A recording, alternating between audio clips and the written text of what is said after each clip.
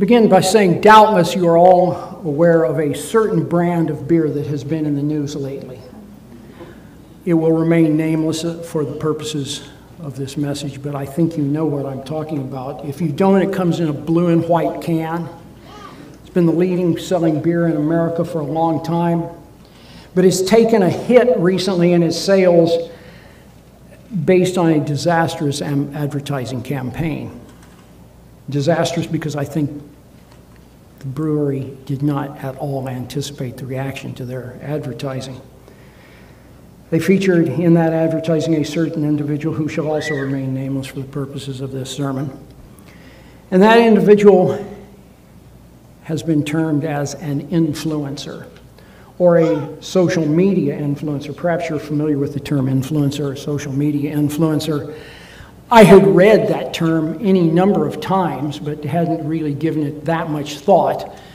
But in the maelstrom that followed this advertising campaign, I thought, I want, I want to understand this a little better, understand just what, what they're talking about by an uh, influencer or a social media influencer. So I did a little research and found some articles I'd like to share some information with you as we begin this sermon from an article in Wired magazine, the Wired Guide to Influencers, written by Paris Martineau, a staff writer for Wired magazine. Quote, so what is an influencer really?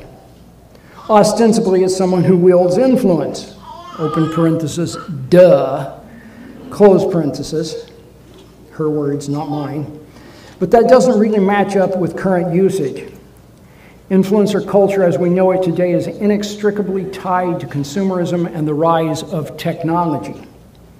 The term is shorthand for someone or something with the power to affect the buying habits or quantifiable actions of others by uploading some form of original, often sponsored content to social media platforms like Instagram, YouTube, Snapchat, or LinkedIn. Be it moody photos, cheeky video reviews, meandering blogs, or blurry, soon to disappear stories, the value of the content in question is derived from the perceived authority and, most importantly, authenticity of its creator. True influencerdom presupposes a particular type of relationship between content creator and viewer at scale, one that hinges on the willingness of the viewer to be influenced Users consider influencers more akin to a close friend than an advertiser or paid endorser, as the stream of content they produce and the more casual way in which it is shared with the public imbues influencers with an air of authenticity that is rarely seen in semi commercial spaces. That from Wired Magazine, the Wired Guide to Influencers. A further article I'd like to give you a quote from was found on the Influencer Marketing Hub. This is a, uh, a business organization which helps influencers get started, keep their business going. The article is entitled, What is an Influencer? Social Media Influencers Defined by Werner Geyser, who is also co founder of this uh, entity, the Influencer Marketing Hub. What is an influencer? An influencer is someone who has the power to affect others' purchasing decisions because of their authority, knowledge, position, or relationship with their audience. An influencer is someone who has a following in a distinct niche with whom they actively engage. The size of the following depends on the popularity of their niche. Influencers in social media have built a reputation for their knowledge and expertise on a specific topic. What does an influencer do? Contrary to the popular belief of some, an influencer is not somebody who spends all their time on social media taking selfies and trying to sound important. Influencers have to genuinely influence the behavior of their followers. They have built a reputation for their knowledge and expertise on a specific topic. They make regular posts about that topic on their preferred social media channels and generate large followings of enthusiastic, engaged people who pay close attention to their views. So, a little bit of information on influencers and social media influencers, such as the one who helped to advertise the beer in the blue and white can. I'd like to ask you some questions. Are you an influencer? I don't mean social media influencer, but do you hold influence with those whom you come in contact with? Do you have some influence? Do you not have a lot of influence, perhaps?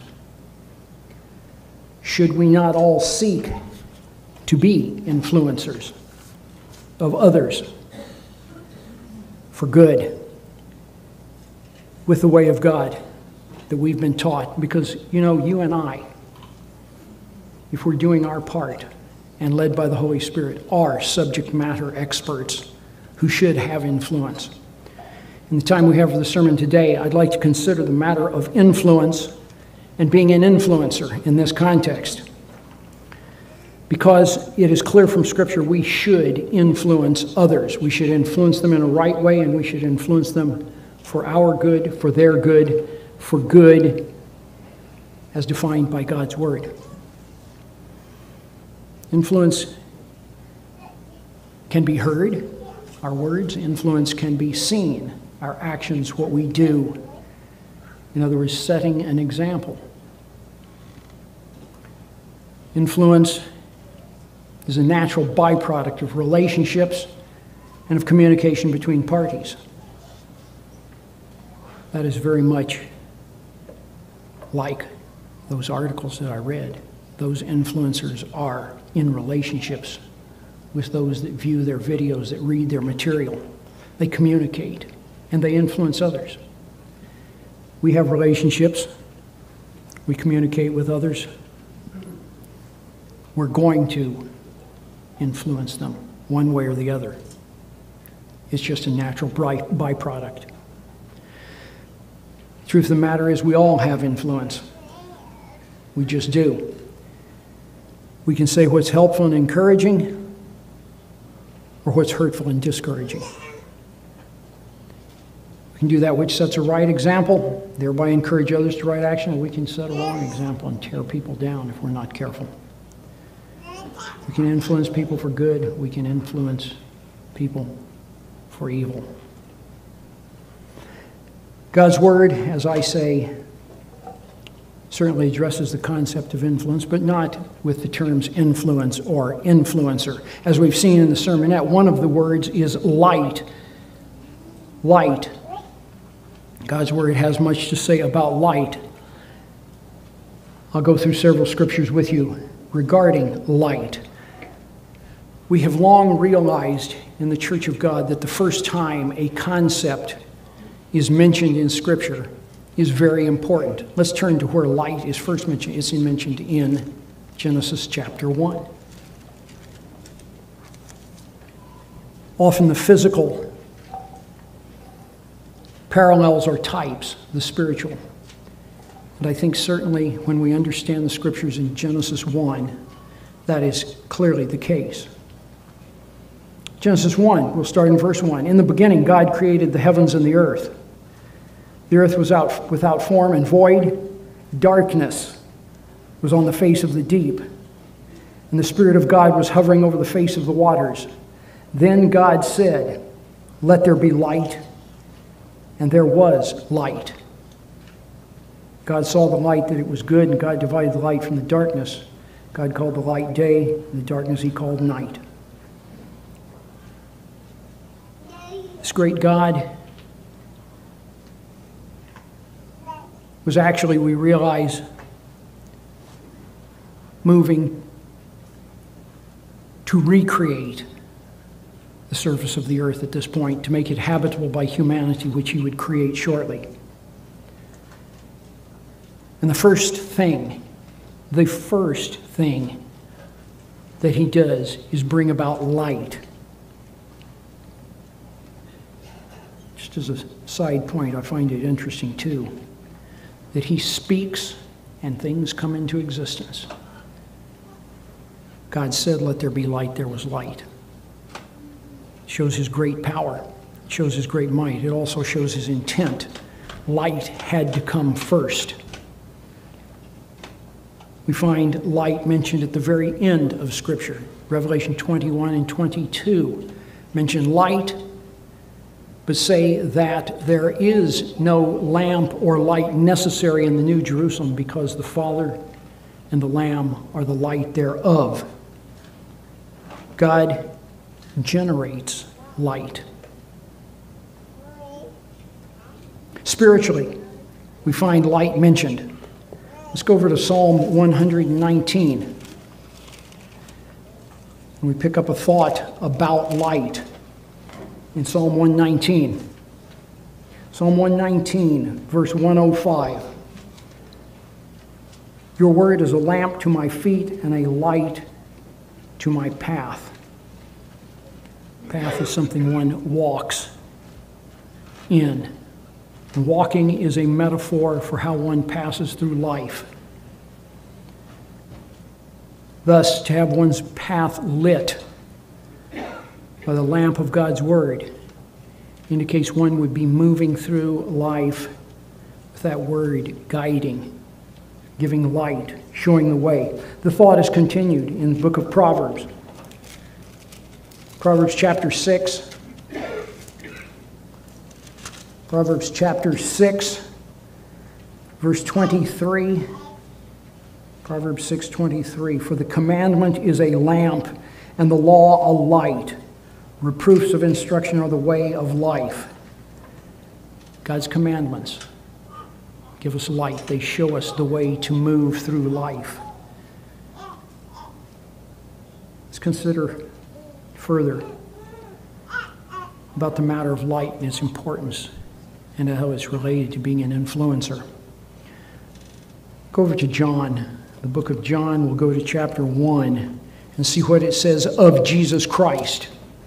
We've seen some in the sermonette. We'll go back to those verses actually, but there are some others too I wish to focus on. John chapter 1, starting verse 4. John 1 4. Speaking of the Word who became Jesus Christ, it says, In him was life, and the life was the light of men. And the light shines in the darkness, and the darkness did not comprehend it. Jesus Christ came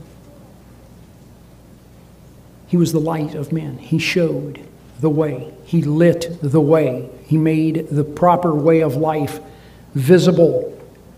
And yet we see that he came into a dark world that didn't comprehend the example that was set by him. There was a man sent from God whose name was John. This man came for a witness, to bear witness of the light, that all through him might believe. He was not that light, but was sent to bear witness of that light. That was the true light, which gives light to every man coming into the world. Jesus Christ's example is there for everyone. To everyone coming into the world. He was in the world, and the world was made through him, and the world did not know him. They didn't get it. And most to this day do not get it. They just don't understand how the way of God, as illustrated by Jesus Christ's life, is applicable. But you and I have been given the Holy Spirit. We've been made to know. We've been had our eyes opened to see the light, to understand. I'm going now to John 8. John 8, verse 12. Jesus Christ was in the temple. He was teaching the people He was interrupted by the Pharisees who brought the woman taken in adultery after he had dealt with that matter. Verse 12 Then Jesus spoke to them again, saying, I am the light of the world. He who follows me shall not walk in darkness, but have the light of life. He who follows me. Back to the thought of the path. Path is the way one walks through life and how one follows Christ will determine if they walk in darkness or if they walk in light. Darkness, clearly the opposite of light, therefore, the opposite of the way of God, which is illustrated where Jesus Christ says he is light. He continues with that same thought in John 12. John chapter 12, verse 35. John 12, 35. A little while longer the light is with you. Walk while you have the light, lest darkness overtake you. He who walks in darkness does not know where he is going. While you have the light, believe in the light that you may become sons of light. These things Jesus spoke and departed was hidden from them. You know, that to me, when I read these scriptures, was reminiscent of something that we used to hear Mr. Herbert W. Armstrong say years ago. If you were in the church in those years, Mr. Armstrong used to say, Knowledge is of no value except as it is put to use. Walk while you have the light. While you have that knowledge, you have to put it to use. We have to do something with it. Another concept Mr. Armstrong spoke about, he would tell us God will only continue to reveal new things to us when we act upon those things He's already revealed to us. New understanding, deeper understanding of truths of God comes when we actually put to use what God has revealed to us. I think we know God has not revealed His truth to just everyone. John 6:44 Christ said, no man can come to me except the Father which hath sent me. Draw him. I will raise him up the last day. Not everyone is drawn. Not everyone understands. Not everyone has the light shine through to them. You and I have. You and I have, and we must, of course, do what Jesus Christ said walk while we have the light. Going on, verse 44 of this chapter, Jesus cried out and said, He who believes in me believes not in me, but in him who sent me. And he who sees me sees him who sent me. I've come as a light into the world, that whoever believes in me should not abide in darkness. When we follow that light, we're following Jesus Christ, but we are also following the Father, the one who sent Jesus Christ, the one from whom all emanates. Let's consider Luke, what Jesus Christ had to say in Luke, the 11th chapter. Goes along with this. Luke, the 11th chapter. I'm going to verse 29. Luke 11 and verse 29. While the crowds were thickly gathered together, he began to say, this is an evil generation. It seeks a sign, and no sign will be given to it except the sign of Jonah the prophet. For as Jonah became a sign to the Ninevites, so also the Son of Man will be to this generation. You may want to hold your place here. I'm going to turn to John, the 10th chapter, if you'd like to turn there with me. I'm going to hold my place in Luke because we're coming right back here. But this is interesting. Jesus Christ said that he would be a sign to that generation which he declared to be an evil generation seeking a sign. John 10, verse 22. Now it was the feast of dedication in Jerusalem, and it was winter. This is what you and I would know as Hanukkah or the Feast of Lights. Jesus walked in the temple in Solomon's porch, and then the Jews surrounded him and said to him, How long do you keep us in doubt? If you are the Christ, tell us plainly. And he answered them, I told you, and you did not believe. The works that I do in my Father's name, they are witness of me. But you do not believe, because you're not of my sheep, as I said to you. He told them, he answered their questions, and they wouldn't believe him. He did works, which he mentions here, that bore witness of him, and they wouldn't receive those either. Thus, this evil generation he speaks of would have the sign of Christ and they would reject it. Think about what he, the works that he did. He cast out demons, he performed miracles. Cast out demons, and what did they say of him? He cast out the demons by the power of Beelzebub, the ruler of the demons. They rejected him. He performed numerous healings, often on the Sabbath. And they rejected him again because he'd done all this hard work on the Sabbath. He didn't fit their criteria, he didn't fit their definition. So they rejected him. Just as he said he would be a sign to them. They, which were an evil generation, they were evil because they rejected his counsel, his teaching, his example. I'm back in Luke 11 now. Continuing in verse 31, Jesus Christ says, The queen of the south will rise up in the judgment with the men of this generation and condemn them, for she came to the ends of, from the ends of the earth to hear the wisdom of Solomon. And indeed, a greater than Solomon is here. The men of Nineveh will rise up in the judgment with his generation and condemn it. For they repented at the preaching of Jonah, and indeed, one greater than Jonah is here. Counsel of Solomon was heard. His influence was accepted and heard by the queen of the south, the queen of Sheba. She came, she heard. If we went back to that section of scripture in the Old Testament, it says that she had no more spirit in her. When she saw the court of Solomon, heard his counsel, and saw all that was done. And she, she glorified God. She said, Surely God has set you on the throne of your father David. Men of Nineveh, they heard the counsel, if you will, the influence given by Jonah. I'm going to turn to Jonah, pick up a few verses there. We won't look at the entire story, there's no need to, but I will look at chapter 3 because it makes an important point or two with regard to this matter of influence. Jonah chapter 3, verse 1. Now the word of the Lord came to Jonah the second time.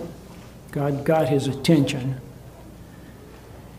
And the word of God came to him a second time, saying, Arise, go to Nineveh, that great city, and preach to it the message that I tell you. So Jonah arose and went to Nineveh, according to the word of the Lord. Now, Nineveh was an exceedingly great city, a three day journey in extent. We take, if this is understood correctly, and you will find in commentaries that the meaning of these words are somewhat difficult to understand, but it would seem that the, the city of Nineveh was so large it took three days to walk across it. Chapter 4, verse 11 God Himself said it was a city of more than 120,000 people, a very large city for that age. Jonah began to enter the city, verse 4, on the first day's walk, and then he cried out and said, Yet 40 days, and Nineveh shall be overthrown. That is clearly a summary statement of his preaching to them. That was not all he said. We can see the evidence of that when we get down a few more verses to the king's proclamation. Yet 40 days in Nineveh shall be overthrown. So the people of Nineveh believed God, proclaimed a fast, put on sackcloth from the greatest to the least of them. Then word came to the king of Nineveh. And he arose from his throne, laid aside his robe, covered himself with sackcloth, and sat in ashes. And he caused it to be proclaimed and published throughout Nineveh by the decree of the king and his nobles. In other words, a royal proclamation, a command to the citizenry, saying, Let neither man nor beast, herd nor flock taste anything. Do not let them eat or drink water, but let man and beast be covered with sackcloth and cry mightily to God. Yes, let everyone turn from his evil way and from the violence that is in his hands. Who can tell if God will turn and relent, turn away from his fierce anger so that we may not perish? Obviously, Jonah told them, Your works are evil, there's violence in this city, and God is going to deal with it. The king himself admonished them. Who can tell if God will turn and relent, turn away from his fierce anger so that we may not perish? It's the same kind of message we preach in this day. Turn from evil so that God will not punish. There is a call to repentance. Jonah had the same methodology. And he had real influence with them because it came to the people and it came to the king, and they did something about it. Then God saw their works that they turned from their evil way, and God relented from the disaster that He had said He would bring upon them, and He did not do it. Real influence. He was able to make a difference. He spoke to them, and they took His words to heart. How about us? Don't we oftentimes speak to our friends, our neighbors, our family members? Maybe they ask us questions about our beliefs, they ask us about our behavior. There's the opportunity to be a light and an influence. I'm going back to chapter 11 of Luke to continue with Christ's words here. After he spoke about the queen of the south and the men of Nineveh, Luke 11, verse 33, he continues with the same concept. No one, when he has lit a lamp, puts it in a secret place or under a basket, but on a lampstand that those who come in may see the light. Jonah was a light to the Ninevites. Solomon was a light to the queen of the south. And in like fashion, Christ admonishes those who are listening to him to be a lamp and a light and not to hide that light or put it in a secret place. Verse 34 the lamp of the body is the eye. Therefore, when your eye is good, your whole body also is full of light. When your eye is bad, your body is also full of darkness. In other words, if you see the light and you accept it, you take it, you put it to use, we and any whom we might have influence with, if they see that, if we see that, we're filled with light. filled with light, and we're walking in that path. But to reject that, the eye is bad, the body's full of darkness. Those that reject the counsel of God will be filled with darkness. Therefore, take heed that the light which is in you is not darkness.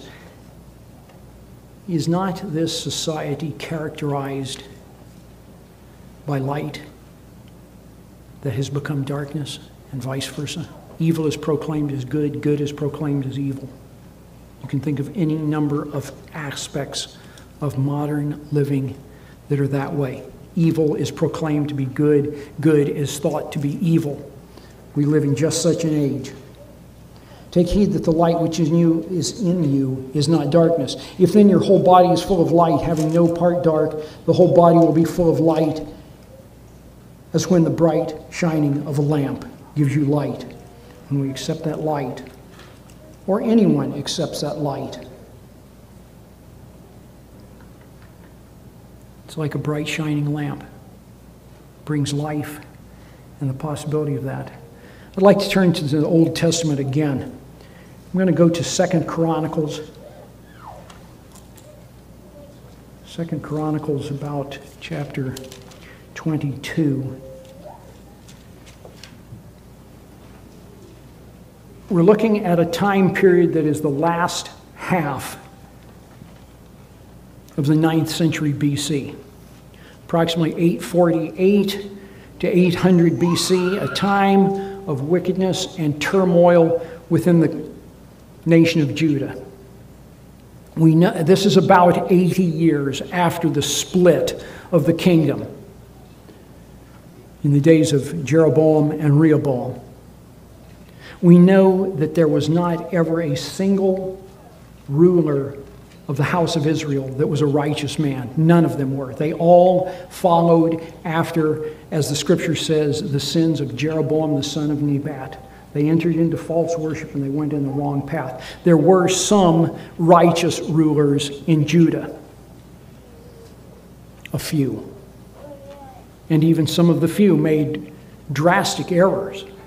Asa, Uzziah made drastic errors. But there were some good rulers in Judah that tried to do right.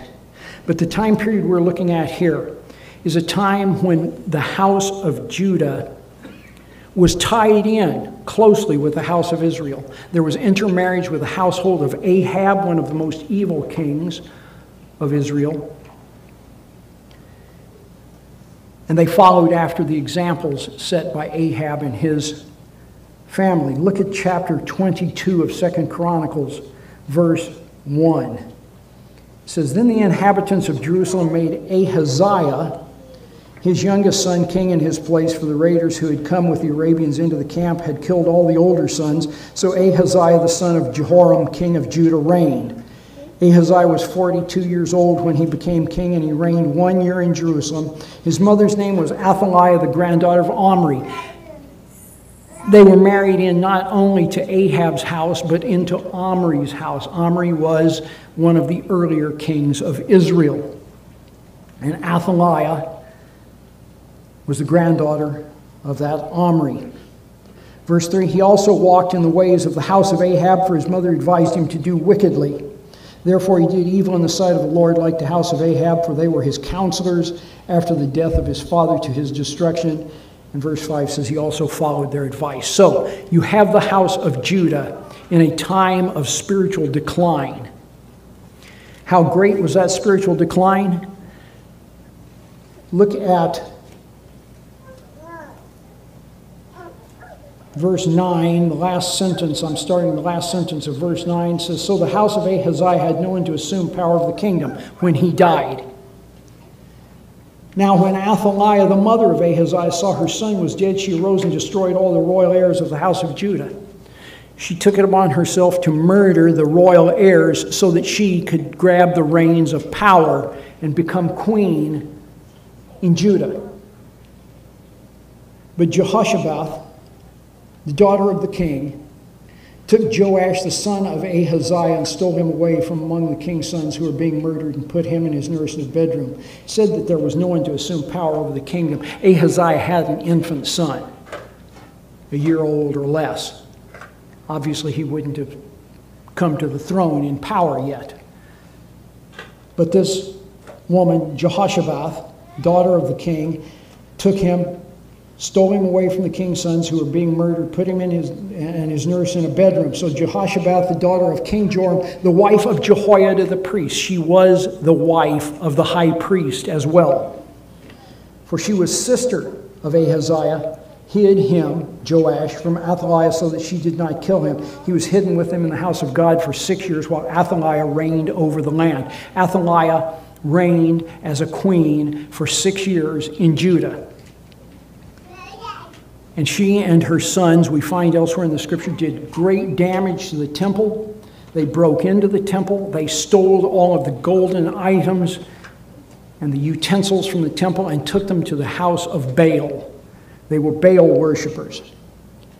But this woman and her husband, the high priest, hid Joash in the temple. Ultimately, Jehoiada, the high priest, at the age of seven, for Joash, anointed him to become king and placed him on the throne of David, whose descendant he was. And they seized Athaliah and executed her. And where I'm going with this in context of influence is this man, Jehoiada, the high priest. He was a true, good, and righteous man and had great influence throughout the tribe of Judah and with the Levites. Look at chapter 23, starting verse 16. It says, Then Jehoiada made a covenant between himself, the people, and the king that they should be the Lord's people. He was trying to turn them back to the true worship which they had strayed from. And all the people went to the temple of Baal and tore it down. They broke in pieces its altars and images. They killed Mattan, the priest of Baal, before the altars. Also, Jehoiada appointed the oversight of the house of the Lord to the hand of the priests, the Levites, whom David had assigned in the house of the Lord to offer the burnt offerings of the Lord, as is written in the law of Moses, with rejoicing and singing, as it was established by David. The wording obviously indicates they had fallen away from the true worship, and he was reestablishing it. He set gatekeepers at the gates of the house of the Lord so that no one who was in any way unclean should enter in. Then he took the captains of hundreds, the nobles, the governors of the people, and all the people of the land, and brought the king down from the house of the Lord. And they went through the upper gate to the king's house and set the king on the throne of the kingdom. So all the people of the land rejoiced. The city was quiet, for they had slain Athaliah with a sword. This wicked individual, who with her sons had done great damage to the temple and in a day when the people were already straying from God, this man Jehoiada had great influence. And he turned the nation around. He turned the priesthood and the Levites around so that they started doing the job they had been assigned all along. I'm continuing in verse 1 of chapter 24. Joash was seven years old when he became king, and he reigned 40 years in Jerusalem. His mother's name was Zibiah of Beersheba. Joash did what was right in the sight of the Lord all the days of Jehoiada the priest. As long as Jehoiada was around, Joash did what was right. If we were to continue on, we won't go verse by verse. You'll see that Joash himself came to have great zeal for the restoration of the temple and temple worship. The Levites didn't act fast enough, and he prodded them on so that the true worship was restored. But there's a problem. Verse 2 indicates it with its wording. He did what was right in the sight of the Lord all the days of Jehoiada the priest. Jehoiada had such great influence. But, verse 15, Jehoiada grew old and was full of days, and he died. He was 130 years old when he died. They buried him in the city of David among the kings. That was not done. That was not something that was normally done to bury the priest, the high priest, amongst the kings. That was a separate area. They did, though, buried him among the kings because he had done good in Israel, both toward God and his house. The next verse tells the story. Now, after the death of Jehoiada, the leaders of Judah came and bowed down to the king, and the king listened to them. Therefore, they left the house of the Lord God of their fathers, served wooden images and idols, and wrath came upon Judah and Jerusalem because of their trespass. As long as Jehoiada was alive, he was a light, an example, and he carried great influence. But once he was gone,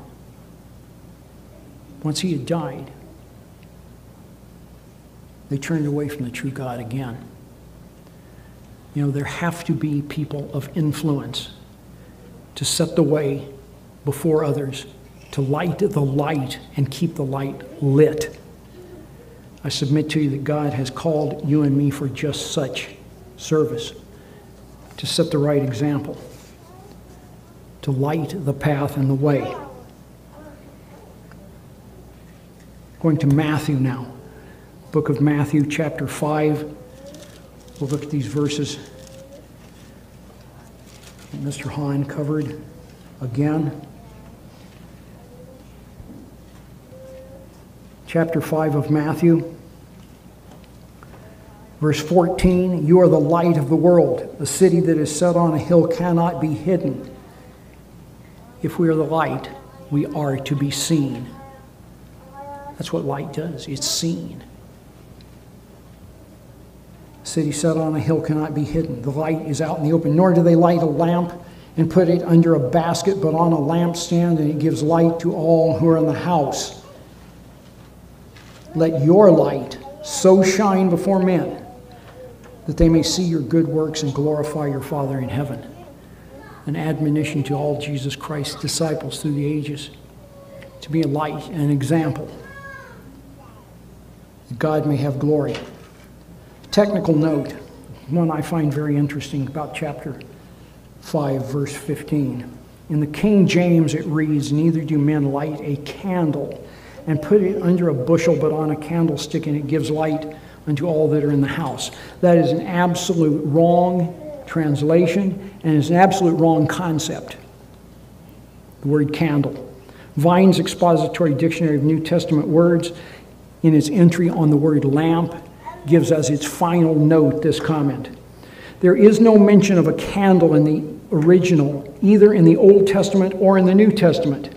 The figure of that which feeds upon its own substance to provide its light would be utterly inappropriate.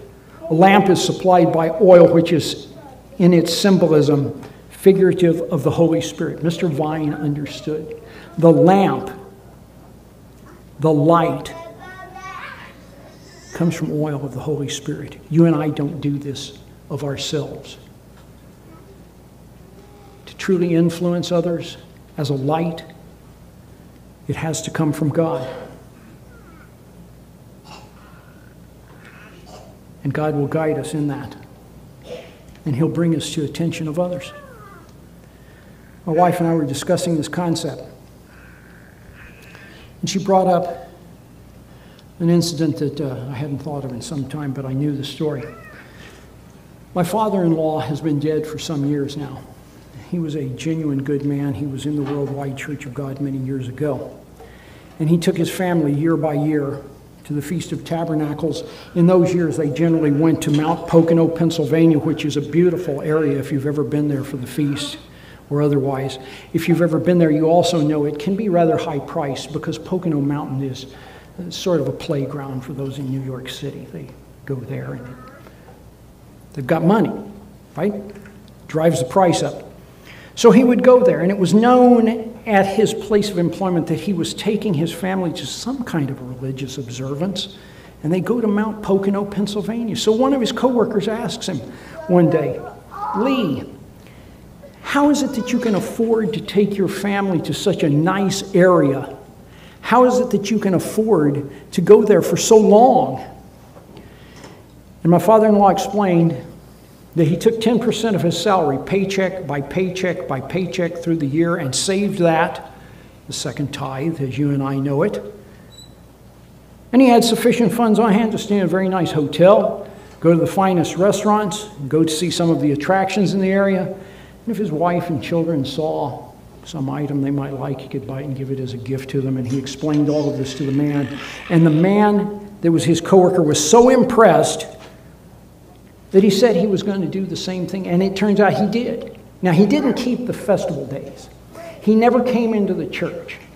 But the man benefited his family by living a principle out of the Scripture of God. He brought a benefit. My father in law was an influencer. He influenced this man to do something that benefited him and something that's going to come back to the man one day. Turn with me to 1 Peter, the second chapter.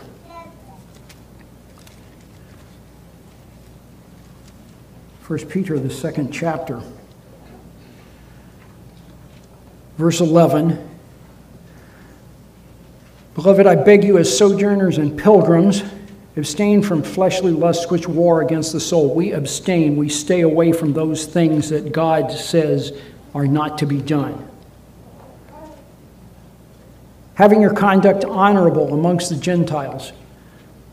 Gentiles here understood really as those that are unconverted.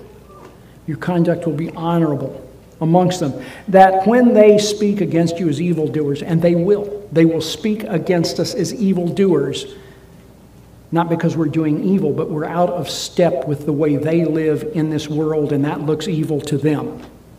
They will speak against us as evildoers. They may, by your good works which they observe, glorify God in the day of visitation.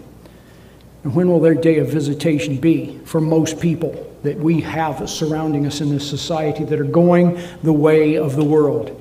Will it not be generally in the great white throne judgment in the general resurrection. That's probably when it will be. It will be their day of visitation, the vast majority of them. And it says, in that day, they're going to glorify God. This is all going to come back. They're going to put it together and make sense of it. And they're going to understand that that guy or that girl that seemed so odd and did these things and seemed out of step and we thought they were so very wrong. Turns out that they were right. How would you like to influence somebody a thousand years from now? Do it right now, and a thousand years from now they'll come back. It doesn't make it easy now, but it's the principle that's in the scriptures. In their day of visitation, they'll glorify God over these things that you and I have set a right example in and in which we have influenced them. Going over to the next chapter, 1 Peter 3, verse 15. They, they see our works, but they can also hear what we have to say. Some of them will ask. You may have been asked yourself. I've been asked. Why do you do these things? Why do you go to these Jewish seeming days? Why do you not eat these certain things? Why do you do this? Why do you do that? We have the opportunity also to influence them with our words. And here in verse 15 of chapter 3, we find it says, But sanctify the Lord God in your hearts, and always be ready to give a defense to everyone who asks you a reason for the hope that is in you with meekness and fear. King James says, Give an answer The word here, if you look in the commentaries, is actually a legal term used in Greek legal circles, and it does mean a defense. But it also can mean, as it says in the King James, an answer, a reasoned statement or argument. You answer and give a reasoned answer as to why you're doing what you're doing. We tell people, and it has an influence. You know, we may not know just how much influence we have with others. Your neighbors, coworkers, family members. They may not really reveal their inmost thoughts.